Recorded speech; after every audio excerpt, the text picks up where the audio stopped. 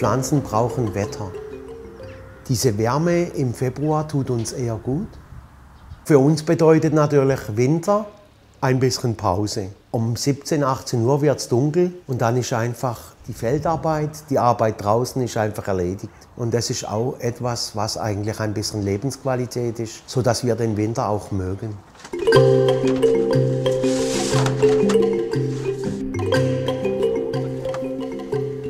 Es ist eine Multikulti-Gärtnerei. Also von den Religionen, von den Kulturen her sind hier sehr viele Kulturen vertreten in den letzten 20 Jahren.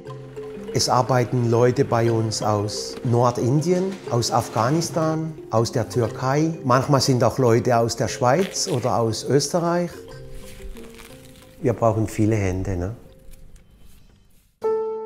Wir verwenden eigentlich zu 80, 90 Prozent biologisch angebautes Saatgut. Wir versuchen Sorten auszuwählen, wo wir einfach beeindruckt sind vom Geschmack.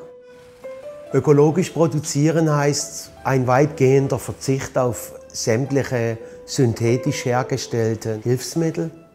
In unserem Anbau müssen viele Sachen auch mit der Hand gemacht werden.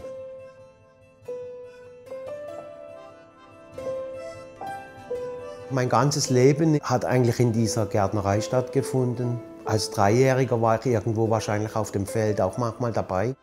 Auch meiner Familie, meinen Eltern zu zeigen, dass ich eigentlich versuche, den Betrieb weiterzuführen. Das war auf jeden Fall ein wichtiges Ziel von mir, dass sie mit mir zufrieden sind, dass sie sagen, er hat es recht gemacht. So.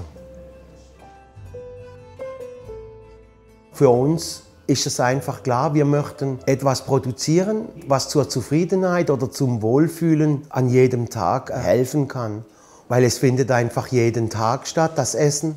Wir haben natürlich auch viel mehr Freude bei der Produktion, wenn wir wissen, wir haben bei einem Kopfsalat, wo wir schneiden, nicht zehn verschiedene Pestizide drauf.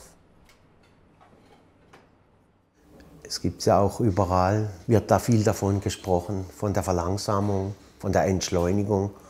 Und von den Pflanzen kann man zu diesem Thema viel lernen, weil sie sind sehr langsam.